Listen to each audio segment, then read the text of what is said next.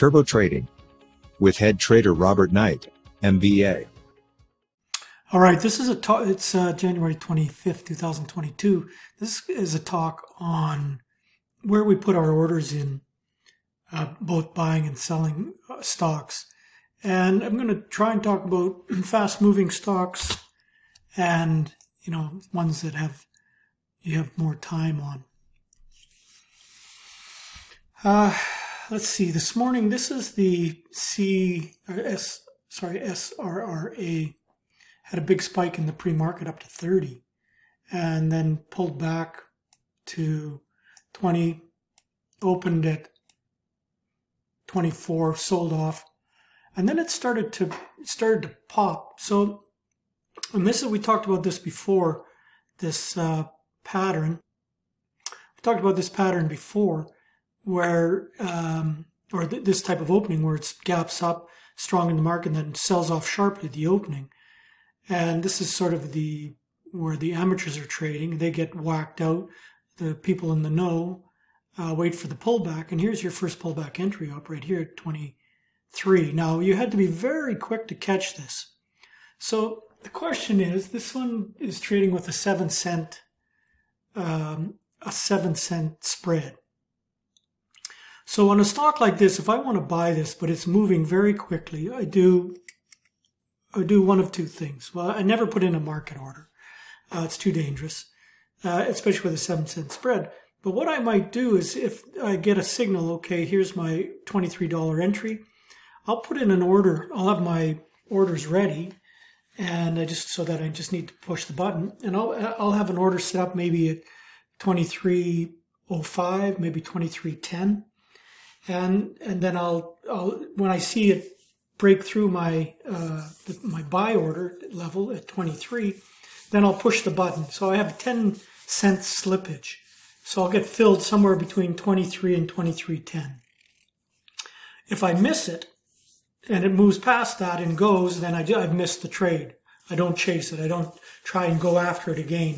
Um, you just you, you you set your area that you want to buy if you don't get it, then you go on to the next trade. You don't chase these stocks because what if you chased it to 24 here and then it pulled back to, then it sharply pulled back to 23 and a half and you think, you think, ah, crap, I'm, I got, you know, I, I bought this and it's going to sell off. I better get out of it. And so you could get whipsawed. So the key is to, to, if it's, if your entry is your ultimate or your optimum entry is 23, then you have your order ready with a 5 cent slippage, a 10 cent slippage, um, 2310, put it in, you get filled. And you could have caught, then you could have caught the top. Now, this brings in another question here. Then, then it's halted. What do you do now? Where do you, where do you do? Typically, if you wanted to take some profit in here, you could put the order in below, just below the offer, pre, before it opens. You could put it in just below it or just above it because in all likelihood when it opens it's going to spike or, or drop some before it goes. In this case it did spike. Now if you had to put the order in too high above it you would you wouldn't have got filled but it was halted at 25 uh, 44 so i'd maybe put the order in at 25 uh, 50 or 25 60 or maybe even down here at 25 35 and so when it opened and it opened higher uh, I would have got filled at the 25, because this is where it opened, at 2560. So even though I had my order in at 2530, I would have got filled at the 2560 level.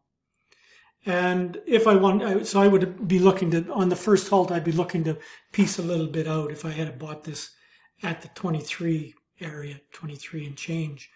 Um, and then when it came off, but when it's dropping like this, you need to just you do need almost just to mark it out or you know put in an order um, you know say it's dropping and you want to stop it at 25 so you put in an order 2470 and you'll get and you should get filled. If you miss it well you know that's one of the problems with trading these kind of volatile stocks. You have to be ready to trade them.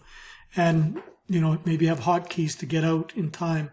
But you could i mean i have a panic button and it's a 20 cent slippage. So it puts it in at the bid plus 20 cents. And so you probably would have got out of this. uh, this trade by doing that. So you put a little bit in just below or just above where it gets halted if you want to get some off.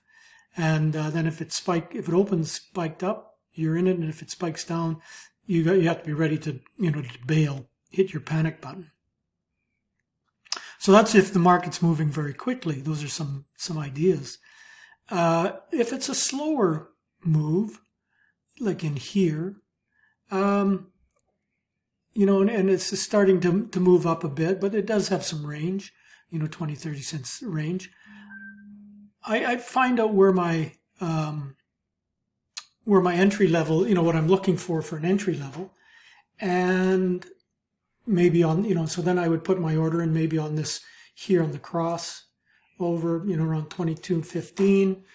I'd just be on the bid or let's see, you know, if it pulled back in here and I was looking to buy some, you know, I, I just, I put it in around where these moving averages are, the, the 34 period and the 50 period and just go on the bid because if I, in the, the platform I trade with, if I buy on the bid, I don't pay any commission. If I buy on the offer, uh, I pay half a cent. So I pay a penny round trip if I buy and sell on the offer and on the bid. If I buy on the offer and sell on the bid, I pay a penny round trip. If I just bid for it, I don't pay commission. So, you know, depending on where it is, I mean, this one has a pretty big spread here now. Uh, well, it's, it's tightened up a penny, but it does, you know, seven, eight cents sometimes. So you just look for your optimum entry level for this stock. Um, you know, in a pullback, maybe you're thinking, okay, it's going to trade back to 23. So I'll put a bid in at 23, maybe 22.95 in case they sell it off. So buy half at 23, half at 22.95, um, which is the 50 period moving average. And, you know, play it from there. And then if, but if it goes against me, I got to stop out at 20, 22.75. Um, so I'd have my sell order ready for that level and but and then you know so if, if i saw this starting go looks like it might trade. So i would be in here at the 2295 i put my order in get the bid because it was trading up here at over 23 i got filled at 2295 and then you know we'll just see how it plays out. Um, i'm not saying that this uh, the stock i'm trading this i'm just hypothetically this is where i would you know put my order in it's in a rising channel like this. It's coming into the apex of a wedge. Well, maybe this is the wedge now like this.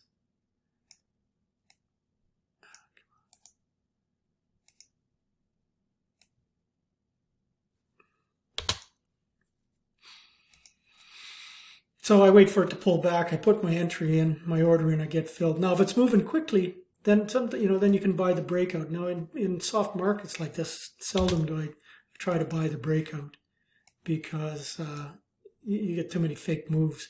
You're better off to try and buy it at your risk level. And this is your risk level here, the 295, 2295. Maybe, maybe your risk level is here, 285. So you put your order in at 295, stop it under 285 because that's the risk level you're prepared to take, and then you know look to sell some out. And then if it really starts to pop here, you know you can offer the stock at 23 48. Now, quite often I'll penny dig. I knew that I know that there's um, uh, 2350 is going to be a natural resistance for it. 24 is going to be natural resistance for it. So if I'm look if this stock is you know trending up and I'm looking to sell some, then I'll offer it at 2348. And and and you'll see a lot of sellers at 2350. So you you penny dig them. You 2347, 2348 you'll normally get it off quite often up here. Uh, you know, I'd offered it between 23.96 and 23.98, depending, maybe 23.93 and 23.98, depending on, you know, how fast it's moving. And you, you get, you'd be surprised how often you get filled when you do that. But if you don't and it starts to roll over, you need to, uh, to cancel that order and, and you know, re- and put in your next order, you know, hit the bid uh, with a, you know, five or ten cent slippage. Um, so there's some techniques uh, that you can you can use if it's moving fast. You know, put in some slippage. If it's halted, put it in. If you want to sell some, put it in around the where it was halted in that area, and just get what you get. It, you know, when you do that, um, and then if it's quiet, if the market's quieting down, it's coming into the range you want to buy it, then just go on the bid. and and hope for it. But if it starts to move, then you got to go on the offer. Just you know, buy it on the offer, but don't chase it. That's the key. Don't chase it. You just buy it on the offer. If it's a you know small spread, penny or two, three, four, you know, you start getting a ten cent spread, then you you have to go on the bid because if you go on the offer, all of a sudden you're down ten cents already. You know, that's a big part of your risk. So the, the tighter the spread, the um, the tighter the spread, the more the easier it is to you know to go on the bid or sorry on the to buy it on the offer, sell it on the bid. I mean, if it's you know just a penny spread, and you know it's a half a cent commission for me, I just hit the bid, get you know get out, just get it done. If I'm if this is the price I want to sell, if unless it's running up to my to my sell area, but if it's if it's a stock I just want to get out of, or you know I've lost my patience with it, or I've got a little bit left, or you know it's just trading sideways, I'm bored with it, you know a lot of reasons, then I just hit the bid. And now, if you're trading huge size, you might you have to be a little bit more careful with that. But I'm not trading. I'm not trading big enough size to affect the market. You know, five ten thousand shares is doesn't doesn't change the market on it if it's a liquid stock. Don't forget to like and subscribe to our channel.